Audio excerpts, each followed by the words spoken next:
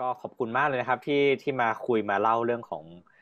บทเพลงนี้มามาแชร์ไอเดียเรื่องของวิธีการเล่นแนวคิด phrasing articulation การ match เสียงการจูนคอร์ด harmony ได้ไอเดียหลายอย่าง เยอะแยะมากเลยครับเกี่ยวกับ concert march เพลงนี้ และในฐานะ composer ก็ต้องขอบคุณอาจารย์ทั้งสองท่านมากนะครับที่ที่ให้เกียรตินำบทเพลงนี้ไปบรรเลงนะครับ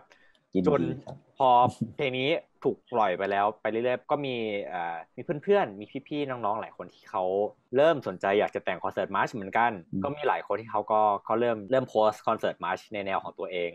ซึ่งโอเค บางเพลงอาจจะมีกลิ่นอายคล้ายๆ กับมาร์ชเจ้าพระยา ซึ่งก็ไม่ได้ว่าอะไรก็ก็ดีก็จะได้เป็นก็เป็นสไตล์ที่โอเคเพราะผมก็ไปเอาสไตล์มาจากญี่ปุ่นเหมือนกัน มีพี่คนหนึ่งครับเขาเขาแต่งเพลงเพลงมาร์ชเหมือนกัน ผมฟังว่าเฮ้ยเขาทำนองเพลงนี้แบบเพลงไทยผมก็ชอบผมไป comment แบบ มันแบบปบมือสักพักหนึ่ง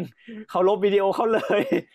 แล้วเขาก็แบบเขาก็ทักว่าเอ้ยผมขอโทษนะครับที่แบบกลัวเพลงจะเหมือนของพี่มากเกินไป ผมก็เลยโทรไปบอกว่าเอ้ยผมไม่ซีเรียสเลยดีแล้วทำมาเถอะครับ เราจะได้มีเพลง เราจะได้มีเพลงกันเยอะๆเลยอยากเชิญชวนอาจารย์ทั้งสองท่านครับอยากให้ฝากถึงคอมโพเซอร์รุ่นใหม่นะครับที่เขาอยากจะแต่งคอนเสิร์ตมาควรทำยังไงดีครับ เราก็ช่วยกันทำนั่นแหละใช่ไหมก็คือว่าทุกคนก็จะมีสำเนียงของตัวเองนะครับผมว่ายังไงก็ตามถึงแม้ว่าเขาจะรู้สึกว่าเออเหมือน เหมือนคล้ายๆ กันแต่เพลงไทยมันก็อาจจะมีทำนองคล้ายๆ กันแต่ว่าในเรื่องฮาร์โมนีในเรื่องของการโอเคสเ r ชันหรือว่า texture อะไรเงี้ยยังไงมันก็คงไม่ไม่ไม่เหมือนสักทีเดียวหรอกเพราะนั้นก็เคยว่า encourage ให้ทุกคนทำแล้วก็ผมว่าสิ่งที่สำคัญก็คือ ตอนนี้เราเป็นนักดนตรีแล้วก็ทำสิ่งที่เรารักให้ดีที่สุดใช่ไหมแล้วก็แล้วเราก็ช่วยกันแบบคราฟต์นะแกะสลักงานศิลปะเราให้มันวิจิตรวิจิตรพิสดารในในแนวของเรา แล้วก็มีความเป็นเอกลักษณ์ของเราเองแต่ละคนนะในที่สุดเราก็จะเจอซาวของเราเองในแต่ละคนก็อยาก encourage รุ่น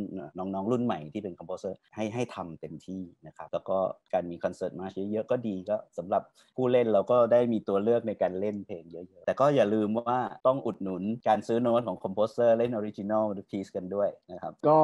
สำหรับผมก็อยากให้ทุกคนแบบว่าได้ได้ลองทำออกมาก่อน คือ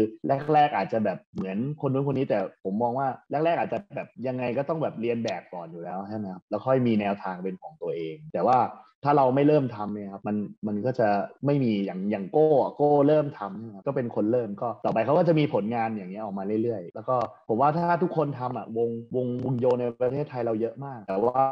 เพลงเล่นน้อยมากในในไทยอะไรเงี้ยก็อยากให้ทุกคนนะครับ เริ่มทำถึงแรก ๆ จะไม่ดีแต่ผมว่าอีกหน่อยแล้วก็จะเป็นประสบการณ์ของของตัวตัวเรา หรือใครอยากจะทำแล้วก็ยังรู้สึกขัดขัดเขินเขินก็ inbox มาหาพี่โก้ให้พี่โก้ไปสอนก็ได้